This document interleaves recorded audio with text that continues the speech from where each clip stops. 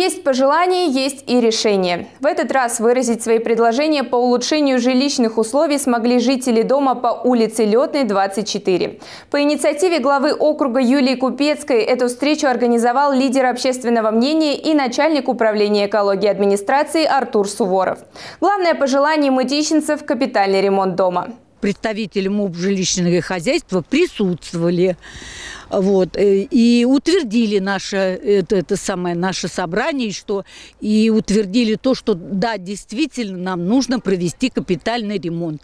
Дом э, построен 1974 года и ни разу не, не производился именно капитальный ремонт. Дому почти полсотни лет. За это время системы тепло- и водоснабжения износились. Жильцы просят обновить инженерные коммуникации. Вместе с представителями управляющей компании и ресурсоснабжающими организациями они составили план по улучшению домовой инфраструктуры и благоустройству двора.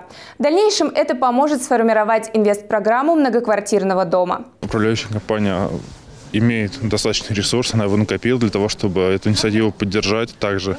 И мы надеемся, что данная инициатива принесет жителям максимальный комфорт. Они будут э, рады э, такому сотрудничеству между управляющей компанией, что она, они должны видеть отклик о том, что это не просто так. Формат такого взаимодействия на практике отражает главный принцип работы губернатора Московской области Андрея Воробьева. Житель всегда прав.